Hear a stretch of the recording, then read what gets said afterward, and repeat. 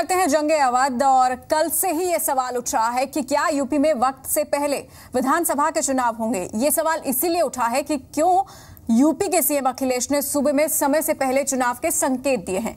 Schedule के मुताबिक UP में विधानसभा के चुनाव अगले साल होने हैं, लेकिन सीएम अखिलेश ने इस साल दिसंबर में ही चुनाव होने की बात कही है। यूपी में 2017 में होने वाले विधानसभा चुनाव वक्त से पहले हो सकते हैं। इसके संकेत खुद यूपी के मुख्यमंत्री अखिलेश यादव ने दिए हैं। सोमवार को एक कार्यक्रम में सीएम अखिलेश यादव ने सुबह में जल्द चुनाव होने की बात कही। अखिलेश ने कहा कि ये मुमकिन है कि राज्य में विधानसभा चुनाव समय से पहले, यानी दिसंबर में ही हो जाएँ। अखिलेश ने समाजवादी पार्टी के फिर से सत्ता में लौटने का भी दावा किया। उन्होंने कहा कि यूपी में एसपी नंबर वन है और आगे भी रहेगी। सीएम अखिलेश यादव ने इशारों इशारों में पीएम नरेंद्र मोदी पर भी तंज कसा है। गोमती के किनारे, अभी तो केवल फुब्बारा और थोड़ी सी लाइट लगाई है। उसी में लोग अपनी सेल्फी खींच रहे हैं। अभी पूरा तैयार नहीं हुआ है। इसी तरह बनारस में अभी तो केवल मशीनें पहुँची हैं, जो वर्णा बिल्कुल नाला बन गई थी। जिस वर्णा के बारे में कोई सोचता नहीं था, सब जमीनें कब्जा कर ली थी लोगों ने। मुझे खुशी है इस बात की कि अधिकारी गणों ने ये देखते हुए कि वो, उसके आसपास बहुत लोगों ने कब्जा किया है। बहुत बड़े पैमाने पर नोटिस मिला है लोगों को। अब अगर बनारस में नोटिस मिला होगा, हम तो एमपी हैं नहीं वहाँ पर। तो कौन लोग हैं? कभी कभी आरोप हम पे लग जाता है कि हम ज़मीन कब्जा कर लेते हैं। अब नोटिस बनारस में ज़्यादा है। तो मैं समझता हूँ वो बात साफ़ हो जाएगी आखिरकार कौन लोग हैं। बहरहाल चुनाव कब होंगे, ये तो चुनाव आयोग तय करेगा। लेकिन खास बात यह है कि यूपी में जल्द चुनाव पर सीएम अखिलेश का बयान ठीक उसी दिन आया, जिस दिन उन्हें अपने मंत्रिमंडल का विस्तार करना था। साफ़ है, सीएम अखिलेश यादव अब चुनावी मोड में है। उनकी कोशिश पार्टी और कार्यकर्ताओं को भी जल्द से जल्द चुनावी मोड में लाने की है। ब्यूरो रिपोर्ट, इंडिया ट्वेंटी तो मंत्रिमंडल विस्तार के साथ साथ इस तरह के संकेतों को क्या समझा जाए? बहरहाल, मंत्रिमंडल में शामिल न किए जाने से अब नाराज़ समाजवादी पार्टी के विधायक शाकिर अली ने खुलेआम पार्टी नेतृत्व के खिलाफ मोर्चा खोल दिया है। सोमवार को शाकिर अली ने मुलायम पर हमला बोलने के लिए आज़म खान के पुराने बयानों का ज़िक्र किया। शाकिर अली ने कहा कि जब एसपी छोड़कर आज़म खान बागी हुए थे, तब उन्होंने मुलायम को आरएसएस का एजेंट तक कह डाला था। शाकिर ने वो बयान भी याद दिलाया जिसमें आज़म खान ने मुलायम को हरी घास का सांप कहा था।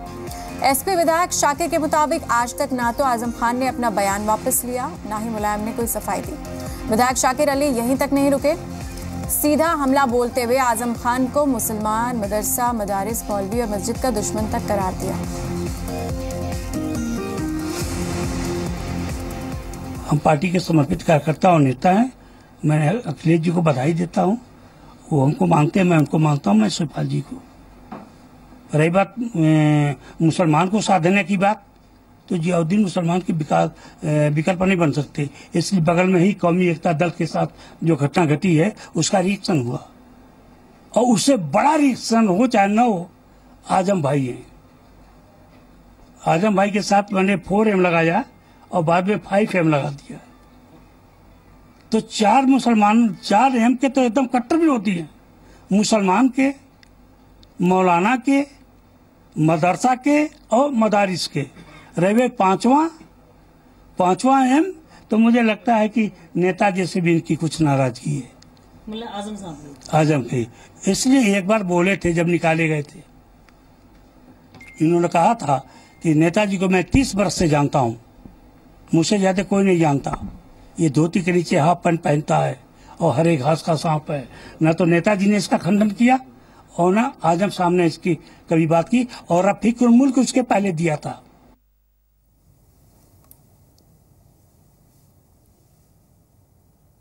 तो शाकिर अली के बागी सुर तब निकले हैं जब उन्हें अखिलेश मंत्रिमंडल में शामिल नहीं किया। दरअसल सोमवार को जब अखिलेश मंत्रिमंडल का सातवां विस्तार हुआ। पाँच मंत्रियों को शपथ दिलाई गई। सीएम अखिलेश ने तीन मंत्रियों को कैबिनेट मंत्री का दर्जा दिया, जबकि दो मंत्रियों को राज्य मंत्री स्वतंत्र प्रभार बनाया गया। अब मंत्रिमंडल विस्तार से ठीक पहले अखिलेश यादव ने सोमवार को मनोज पांडे की कैबिनेट से छुट्टी भी कर दी।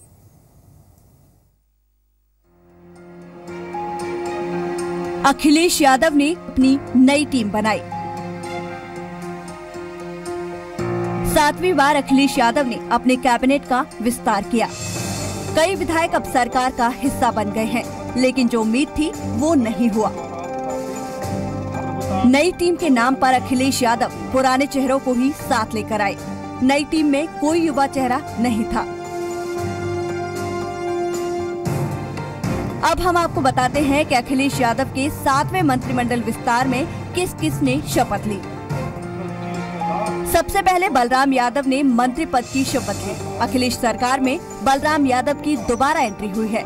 21 जून को अखिलेश यादव ने बलराम यादव को तब बर्खास्त कर दिया था, जब कौमी एकता दल के समाजवादी पार्टी में विलय को लेकर विवाद हुआ था।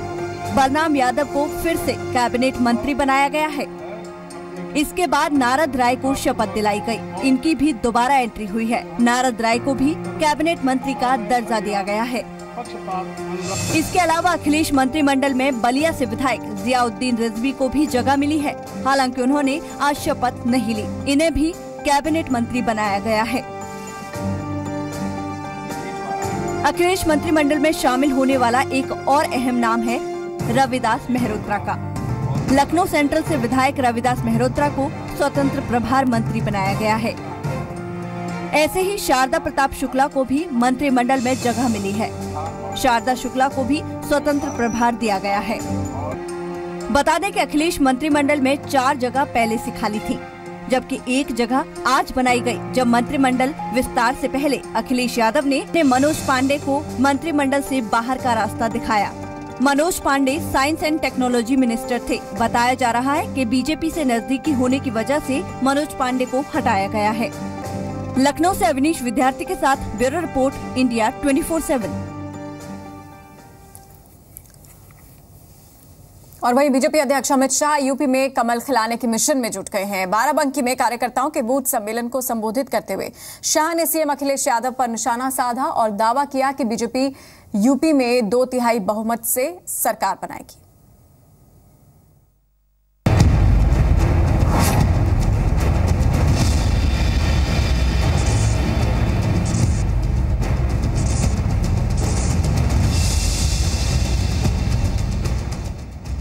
यूपी की सियासत से पिछले डेढ़ दशक से बेदखल बीजेपी को इस बार प्रदेश में कमल खिलाने का आसार दिखने लगा है।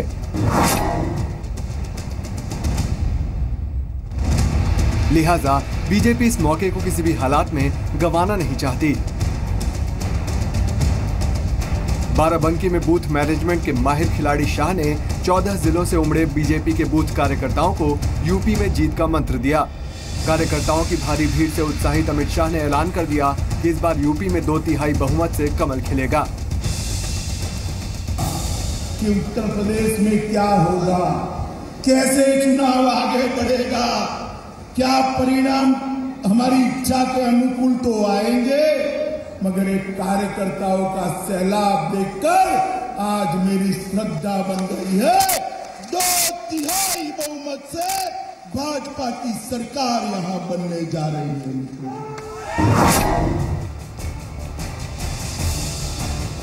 2014 लोकसभा चुनावों के दौरान यूपी में मिली अप्रत्याशित सफलता के सूत्रधार अमित शाह ही थे।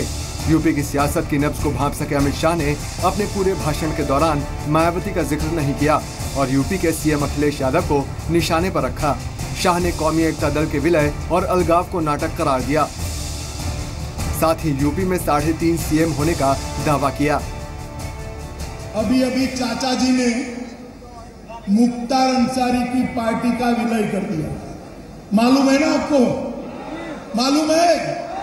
अब भतीजे को गुस्सा आ गया कि हम विलय नहीं मानेंगे।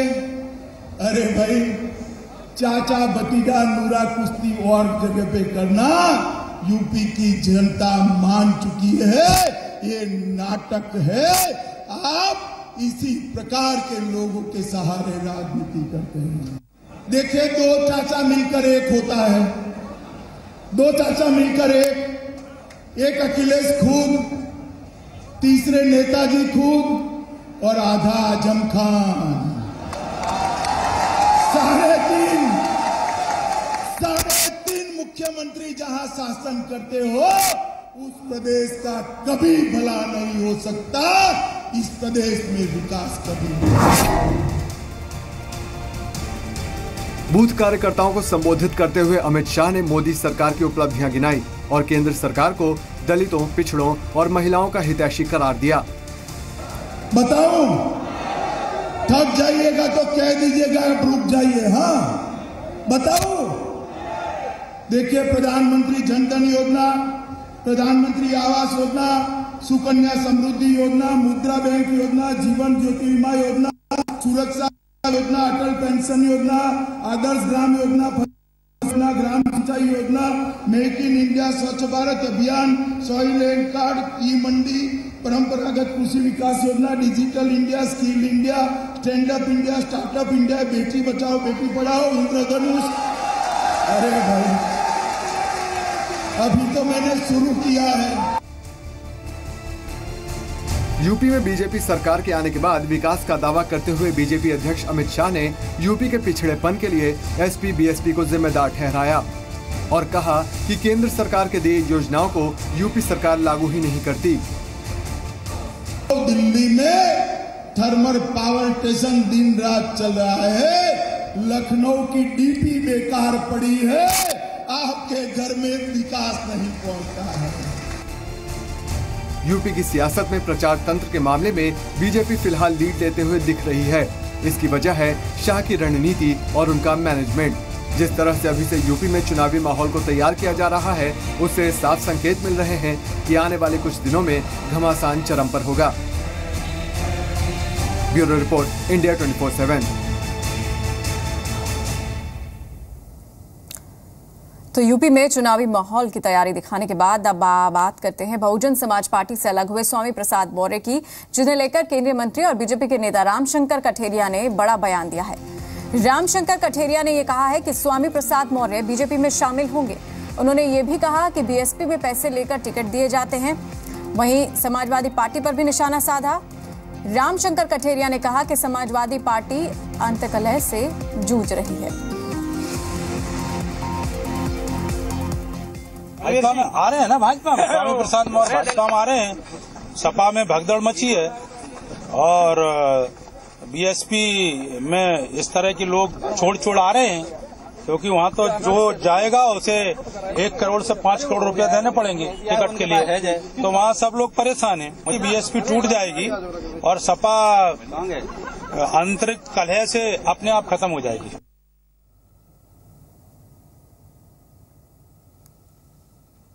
और वहीं यूपी के राज्यपाल राम नाइक ने फिर कहा है कि कैराना मामले पर रिपोर्ट उन तक पहुँचने से पहले लीक हो गई। सोमवार को कानपुर पहुँचे नाइक ने कहा कि या तो संतों ने वो रिपोर्ट लीक की होगी या फिर मुख्यमंत्री को देने के बाद उनके दफ्तर में किसी ने। ये बात सही है कि मेरे पास जो संतों ने कैराना के संबंध में रिपोर्ट दिया, वो रिपोर्ट मेरे पास आने के पहले ही अखबार के माध्यम से लोगों को मालूम हुआ। अब ये दो बातें हैं कि एक तो संतानों, संतों ने वो रिपोर्ट लीक की होगी, या फिर मुख्यमंत्री जी को देने के बाद उनके कार्यालय में से किसी ने की होगी। बात उत्तराखंड की करते हैं, जहाँ घोषित तौर पर चुनावी बिगुल तो बच चुका है। बीजेपी और कांग्रेस अपनी अपनी रणनीति बना रही हैं। वहीं क्षेत्रीय पार्टियों की बात करें तो आगामी विधानसभा चुनाव में अपने आप को निर्णायक भूमिका में देख रही हैं। रिपोर्ट देखिए इस पर। अगर उत्तराखंड की जनता नीचे भी कमल लाती है तो विकास ही विकास उत्तराखंड के लिए है मित्रों, विकास ही विकास। बीजेपी अध्यक्ष अमित शाह ने 25 जून को हरिद्वार में इस रैली के साथ ही विधानसभा चुनाव का ऐलान कर दिया। बीजेपी की आक्रामक रणनीति ने उत्तराखंड की क्षेत्रीय पार्टियों की नींद उड़ा दी है। अभी उत्तराखंड क्रांति दल अपनी खिसकती सियासी ज़मीन को फिर से साधने में जुट गई है।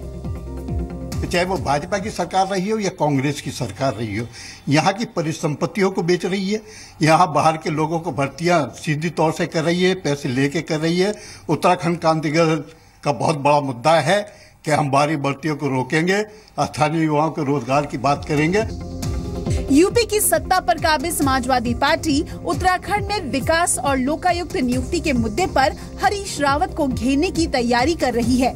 एसपी आने वाले दिनों में राज्य में बड़ा आंदोलन करने की भी तैयारी कर रही है। वहीं आम आदमी पार्टी उत्तराखंड में भ्रष्टाचार स्वास्थ्य सेवाओं की बदहाली को चुनावी बनाने की तैयारी में है। कि कांग्रेस और भारतीय जनता पार्टी, ये दोनों दल पूरी तरीके से भ्रष्टाचार पर घिरे हुए हैं। त्रिपाठी आयोग और भाटी आयोग की जो रिपोर्ट सरकार के पास पड़ी है, उनमें पूरा इनका काला चिट्ठा मौजूद है। अगर उस चिट्ठी को भी उजागर कर दिया जाए तो शायद ये दोनों दल इनके जो पूर्व मुख्यमंत्री रहे हैं, वर्तमान में इनके मुख्यमंत्री, उनकी बड़ी फजीयत हो जाएगी। आम आदमी पार्टी उत्तराखंड में, उत्तराखंड की समस्याओं को देखते हुए चार पाँच मुख्य चीज़ों पर अपना फोकस कर रही है। हमारे लिए जो एक, जो सरकारी शिक्षा का मुद्दा बहुत बड़ा, मुद्दा है, हमारे लिए स्वास्थ्य का मुद्दा, सरकारी स्वास्थ्य का मुद्दा एक बहुत बड़ा मुद्दा है। अगले दस दिनों में कुछ नए रचनात्मक आंदोलन भी भ्रष्टाचार के तौर पर लाने वाले हैं। इधर क्षेत्रीय दलों से अलग सत्ताधारी कांग्रेस 2017 विधानसभा चुनाव में और मजबूती से आने का दावा कर रही है। कांग्रेस नेता जोत सिंह बिष्ट का दावा है कि पार्टी ग्राउंड स्तर पर काम कर रही है और आगामी चुनाव में विकास ही पार्टी का मुख्य एजेंडा होगा। भारतीय जनता पार्टी की हकीकत जनता को बताने के साथ साथ उत्तराखंड सरकार द्वारा जो गाँव और गरीब को केंद्र बिंदु मान करके योजनाएँ बना करके उत्तराखंड में पलायन रोकने की दिशा में एक ठोस पहल की गई है, उसके साथ फिर से दोबारा जनादेश मांगने की हम, हमारी ये आगे की कोशिश है। हमारा दो से ढाई लाख कार्यकर्ता जब चुनाव में सत्तर विधानसभा में काम करेगा तो भारतीय जनता पार्टी के अधिकांश विधानसभा सीटों पर जमानत जब्त होने की नौबत आएगी। राज्य गठन के बाद उत्तराखंड की सियासत में तीसरे मोर्चे ने हमेशा बड़ी भूमिका निभाने की कोशिश की है, लेकिन अभी सफल नहीं हो पाई है। हालाँकि उत्तराखंड कांग्रेस दल सत्ता में भागीदार ज़रूर है, लेकिन उसकी भी ज़मीन खिसकती जा रही है। 2017 का विधानसभा चुनाव कई क्षेत्रीय दलों की किस्मत का फैसला करेगा। देहरादून से सोनू सिंह के साथ ब्यूरो रिपोर्ट, इंडिया 24/7